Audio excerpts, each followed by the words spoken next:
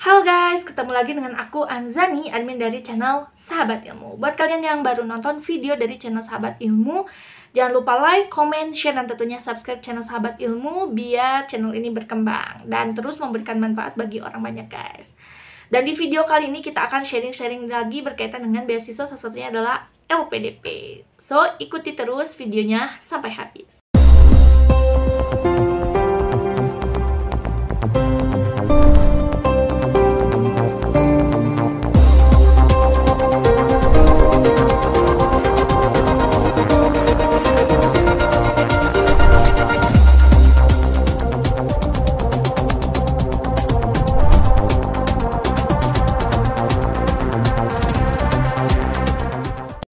Sebelum lanjut ke videonya, jangan lupa support channel Sahabat Ilmu dengan mengklik tombol subscribe dan jangan lupa aktifkan juga lonceng notifikasinya biar teman-teman tidak ketinggalan update-update berkaitan dengan beasiswa. Salah satunya adalah beasiswa LPDP dan teman-teman jika suka silahkan klik tombol like dan jangan lupa share sebanyak Oke guys, di banyak. video kali ini aku akan sharing lagi uh, mungkin bisa kalian sebut kayak Q&A atau mungkin lebih ke sharing-sharing ya. Banyak banget kebingungan yang masih uh, ditemuin di kolom-kolom komentar. Oke, langsung saja. Di sini aku mau bacain ada di kolom komentar masih banyak yang kebingungan tentang um, pemilihan ya, pemilihan perguruan tinggi. Assalamualaikum Kak izin bertanya, saya baru saja lihat video kakak ini yang sangat bermanfaat, thank you. Yang ingin saya tanyakan adalah, jadi ketika kita mendaftar afirmasi bidik misi S2, ketika lolos dan memilih tiga perguruan tinggi yang diinginkan itu, setelah itu kita perlu seleksi ke perguruan tinggi untuk lolos juga atau dari LPDP-nya ya Kak? Mohon jawabannya. Nah mungkin sebelumnya aku udah uh, jawab juga di kolom komentar, tapi mungkin ini buat teman-teman yang masih sama ya, punya kebingungan yang sama uh, karena bingung gitu. Kalau misalkan pilih tiga universitas apakah tiga-tiganya kita harus tes atau gimana? Okay. kayak gini. Kalau misalkan tiga pilihan ini kita kan milih di awal.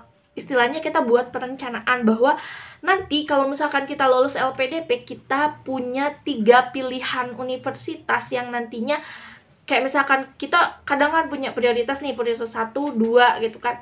Nah kita misalkan pilih nih tiga-tiganya. Jadi kayak misalkan teman-teman tes di yang pertama ternyata gak lolos bisa coba kan di kedua dan ketiga. Kayak gitu. Jadi istilahnya ya pilihan gitu. Kalian mau pilih tiga-tiganya atau cuman pilih satu? Ya teman-teman bisa isi ketiganya itu dengan satu universitas yang sama.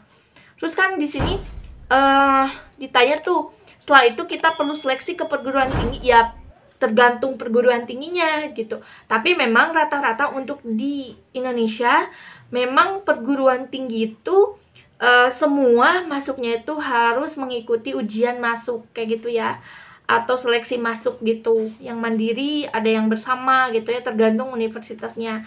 Nah, makanya kalau misalkan ditanya untuk uh, lolosnya itu apakah dari LPDP itu enggak ya. Jadi maksudnya kayak gini.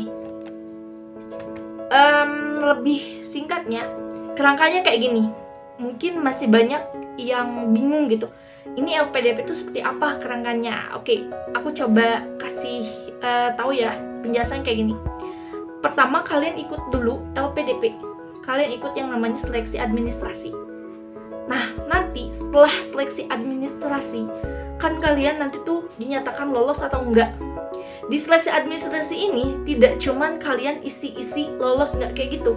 Tapi benar-benar ini akan dipertanggungjawabkan setelah nanti kalian selesai. Kayak misalkan pemilihan universitas terus kalian juga pemilihan jurusannya terus uh, pokoknya semua administrasi ini yang akan dibawa sampai nanti kalian lulus bahkan jadi alumni kayak gitu. Jadi benar-benar di administrasi itu benar-benar harus rapih gitu ya. Artinya harus benar-benar gitu ya. Nggak uh, bukan main-main gitu. Nah setelah administrasi lulus kalian ikut yang namanya tes seleksi berbasis komputer atau SBK ya.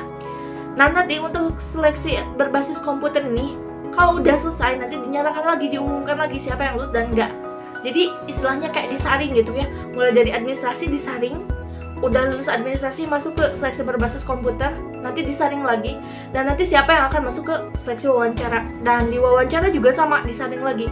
Ternyata kalian udah lolos nih di seleksi wawancara atau di tahap akhir. Kalian misalkan menyatakan selamat anda lolos seleksi wawancara. Berarti itu udah kalian dinyatakan lulus sebagai penerima beasiswa LPDP apakah sudah sampai sana?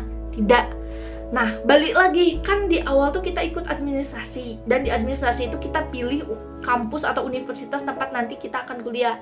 Nah, itulah di sana mulainya. Setelah lolos ya kita otomatis harus cari universitas itu yang kita pilih. Kalau mereka yang belum punya LOE.